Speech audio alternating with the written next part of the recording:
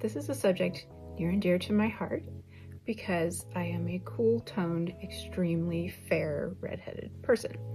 I know there's others of you out there who probably struggle with finding colors that work for our skin tone. I'm specifically going to talk about cool to neutral toned to even maybe a little bit warm toned sort of browns. That is one of those colors that I really love to wear with a lot of my clothes. But when you go to shop for those things, you mostly find very, very warm browns. If at all, you kind of find almost oranges. And with this going on, no, it just clashes really, really bad. So I'm gonna give some recommendations. Over the years, I have collected a whole bunch of different toned browns that will really work for us. So let's start with the one that I already have on my lips. This is Caramel Glacé 103 in Revlon. Really, really pretty. I would say that this is neutral, slight leaning warm, but it is a very, very flattering, very beautiful color. And it's got this beautiful finish that is a really nice sheen to it. These are not expensive, they're Revlon, so definitely recommend this one for sort of an everyday. It's not too dark, but it's also not too light. And it's just a stunning color that really sticks out and kind of gets people's attention. I think this is absolutely beautiful. Let's go cooler and even darker brown. This is definitely a little more dramatic, but you know, sometimes, especially like in the fall, you have these rich mocha browns and you're enjoying wearing them and you don't have any lipstick that really goes with it. So you end up wearing something sort of boring. Let's not be boring. This is 315 Iced Mocha.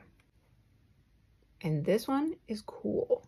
It also has that little bit of sheen, keeps it from being this dead looking brown. It's also very, very comfortable. This is a good formula. I actually have been staying away from these little Revlon bullets because I thought I remembered that I didn't like the formula. I, don't, maybe they've changed it, um, but I think this formula is actually quite comfortable, very nice. I think it also used to have more of a smell and I don't smell anything on this, which I really appreciate. Some of the other brands, the drugstore brands, they are highly scented and you can taste it. Uh, not my favorite. So you can go fully dark with this, which I think is stunning. It's very nice. I love that sheen. You can totally wear this during the daytime. I mean, you can wear whatever you want, but I don't think that this is going to like scream, ooh, you, you're doing a makeup look. You could blot this and make it a little bit lighter. There we go. You can put a lip gloss over it this is just an Essence Extreme Shine. This is going to warm it up a little bit. But these are $4 glosses that are such high quality. They make your lips feel so good. And there, it's still fairly cool, but it just looks a little more natural. It's not such a statement lipstick, but you still have this beautiful color that works with your cool toned fair skin. This is a Maybelline Cream Lipstick in 940 Touchable Taupe. This is a wonderful formula. It is super comfortable. You can easily compare this with high end. This is a great formula. This color is beautiful. It leans cool, but it's got sort of a mauve red undertone. Again, that's gonna work better for cool undertone skin that's just beautiful. Now, I wouldn't wear this necessarily with a completely dead, cool, almost grayish brown.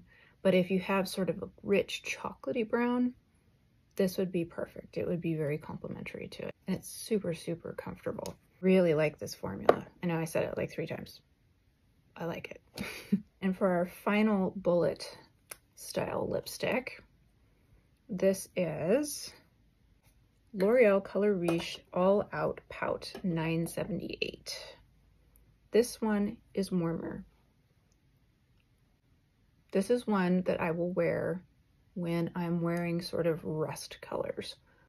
It does lean a little orange, but it rides that line. You can also see it's got sort of a muted mauve in there as well. That's what makes it wearable. This is also a very comfortable formula, but it is more of a comfortable matte formula. Really like this as well. Now say you want to adjust this. This is just a little bit too warm, like really doesn't go with what I'm wearing today. This is where my lip glosses come in. Probably my number one lip gloss for adjusting cool. I actually have two, but this is the one that's only $4. This Essence Milky Cocoa, it's their Extreme Care. This just does the trick. Depending on how orange you have something, it may take a couple of swipes. But you can see, look at that. And for $4, this is the perfect lip gloss to have in your arsenal to adjust any lipstick that has just gone way too warm. Something that us cool tone girls run into a lot, especially if you're fair. A lot of times the cooler tones end up being very, very dark lipsticks, which, you know, you can still wear those. That's fun. But if you're looking for cool, medium to light toned lipsticks, that is challenging. Don't think that most people have our coloring. So that's not what they cater to. Just makes sense. You know, they have to make money, right? so this one, you can wear it all by itself or you can use it to adjust. This is my secret weapon. I have one other that does the exact same thing, but good luck finding it. I got this in a BoxyCharm. It's a Natasha Denona Lip Euphoria lip gloss. And it is very similar, only it's even thicker than this Essence formula. It smells like cinnamon. It seems like it would be plumping, but I don't feel any plumping, but it smells like a plumping lipstick. It smells like cinnamon. It does a fantastic job as well. I think I got it for less than $10 through the Boxy Drop shop.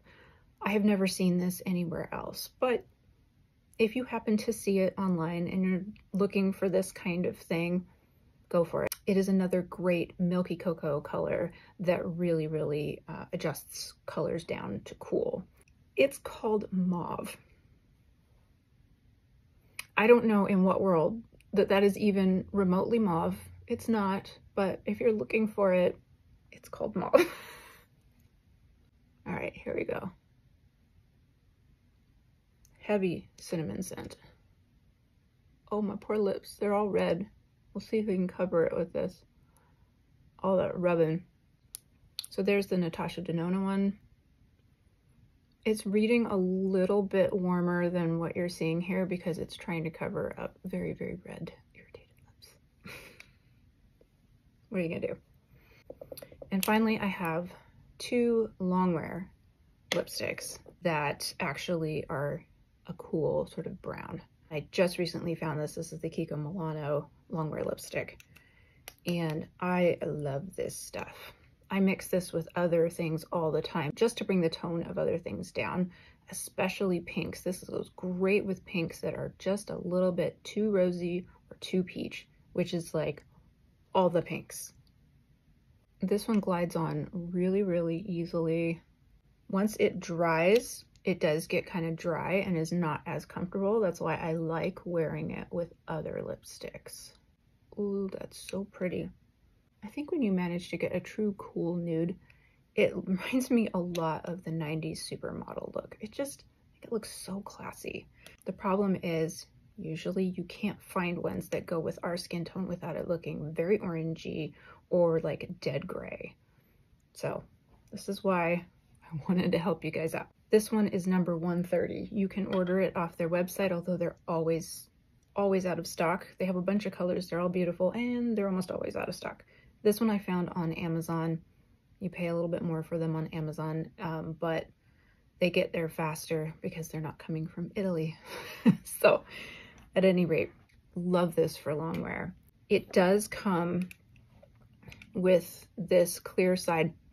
See, now it's getting sticky, which does make it more comfortable. So I would normally use this, but I'm gonna show you another lip gloss on top of it that is also very pretty, but I love this just by itself. L'Oreal Infallible 8 Hour Pro Gloss in Dolce de Leche 825. These are super pretty.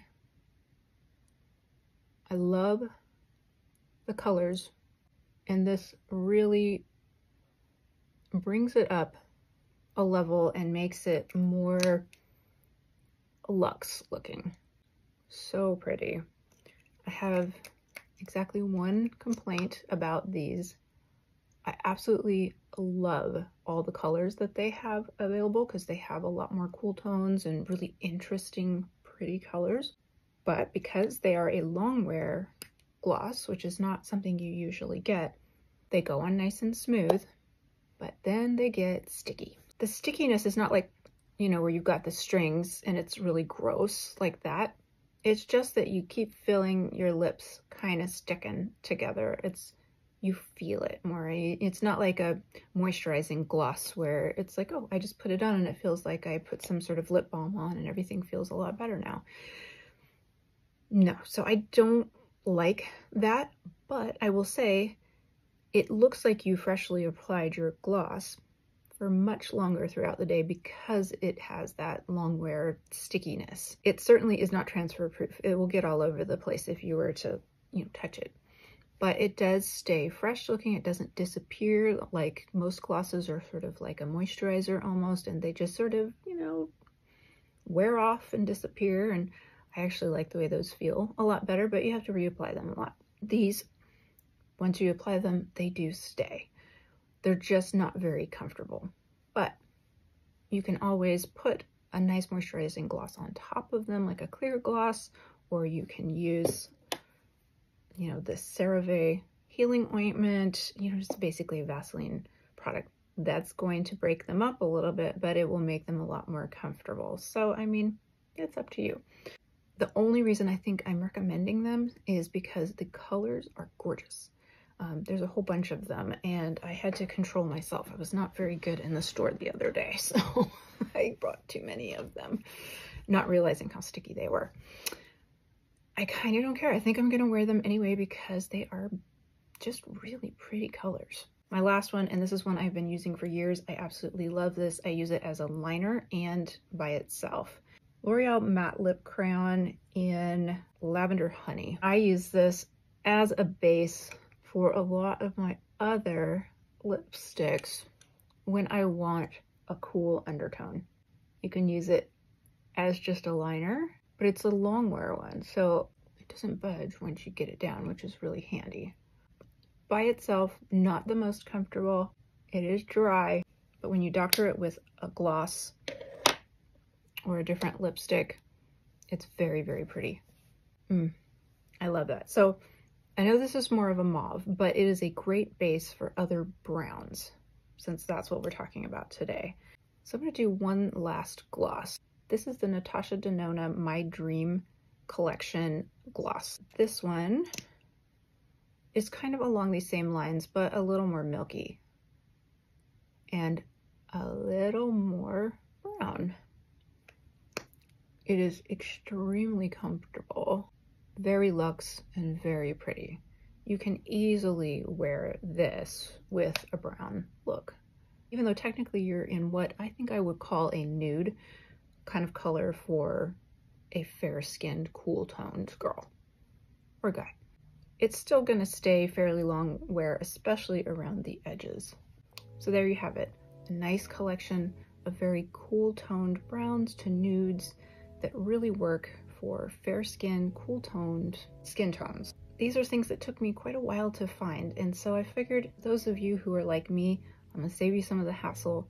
These are some ones that you can check out if you liked any of the ways that these looked. I hope that helps. If you have any of your favorite cool tone nudes and browns that you would like to share, I would love to try some new ones myself. Also, it would really help me if you can like and subscribe if you're not already.